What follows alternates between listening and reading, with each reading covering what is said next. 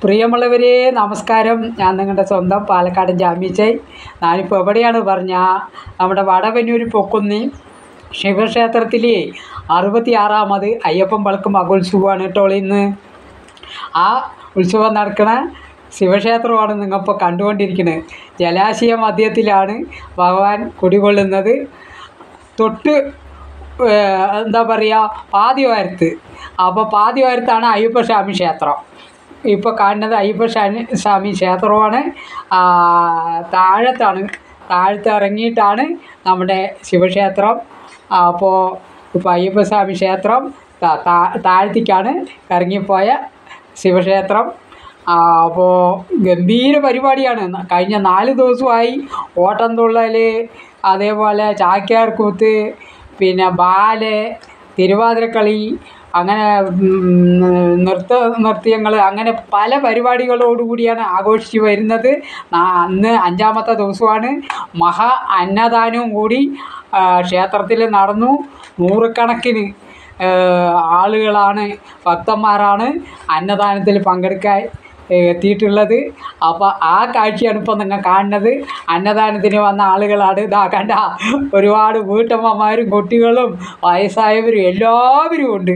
ഒക്കെ പൊക്കുന്നിയപ്പന്റെ അന്നദാനം കഴിക്കാൻ വേണ്ടിയിട്ട് നിരന്ന് നിന്നൊക്കെ വന്ന് ആഹാരം കഴിച്ചിട്ട് അന്നദാനം കഴിച്ചിട്ട് പോണ കാഴ്ചയും നമ്മൾ കാണുകയാണ്.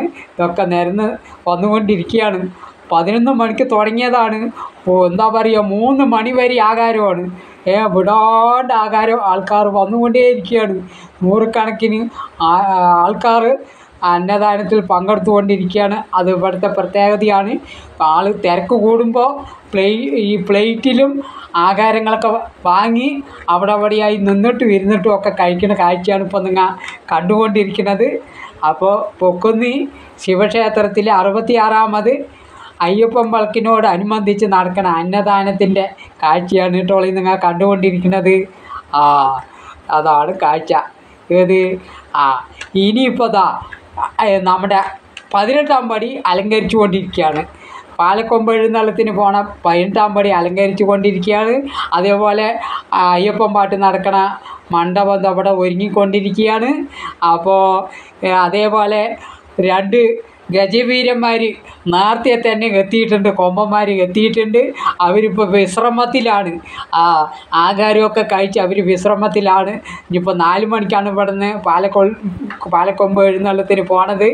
അപ്പോൾ രണ്ടാൾ ഇതാ കണ്ട ഒക്കെ വിശ്രമത്തിലാണ് നിന്നിട്ടും കടന്നിട്ടും ഒക്കെയാണ് വിശ്രമത്തിലാണ്. അതേപോലെ അയ്യപ്പസ്വാമിന്റെ തടമ്പേറ്റുന്നത് ഗജരാജ കൊടുമുടി ചെറുപ്പളശ്ശേരി അനന്തപത്മനാഭന ഗജവീരനാണ്. അയാളും ഇവിടെ എത്തിയിട്ടുണ്ട്. ഇതൊക്കെയാണ് വിശേഷം